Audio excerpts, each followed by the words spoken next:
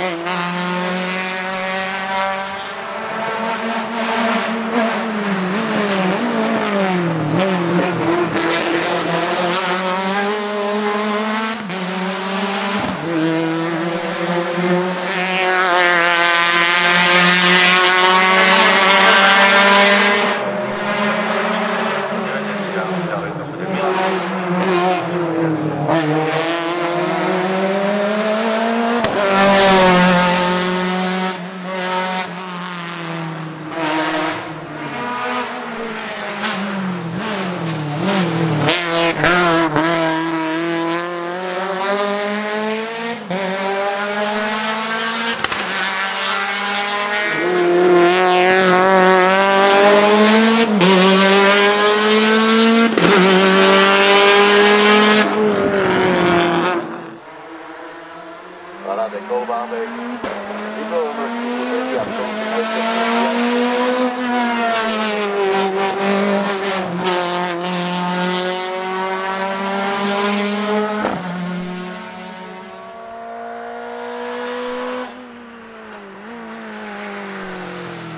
Yeah.